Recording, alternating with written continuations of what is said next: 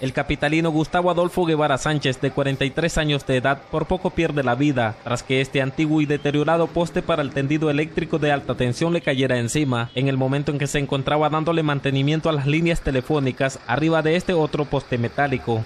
que estaban trabajando arriba ellos con su seguridad y todo, ¿verdad? Se vino, se desprendió el poste de Unión Fenosa, por lo que está, ya vieron, va que está podrido y prensó a uno de los muchachos ahí que le fracturó la mano.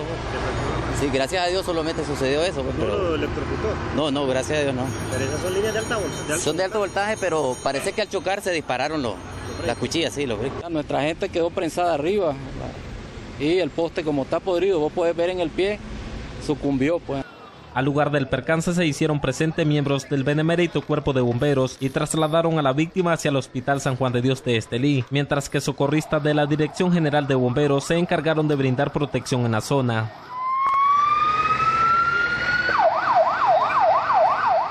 Él estaba haciendo un trabajo arriba del poste, pasó un camión, reventó una de las líneas y él quedó prensado de su antebrazo izquierdo arriba del poste.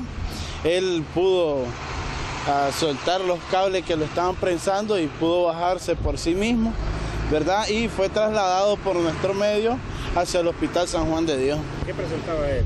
Él presentaba una fractura a nivel del radio del miembro eh, superior izquierdo.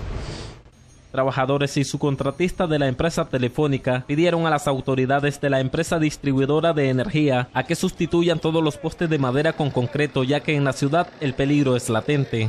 En este lista han podrido todos los postes. Sí. ¿Cuál sería el llamado?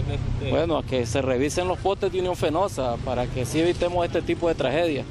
El hecho ocurrió por las cercanías de la Cotran Norte y la base militar El Quiabú, a orillas de la carretera panamericana que cruza por el Diamante de la Segovia. En Notivisión, Juan Francisco Dávila.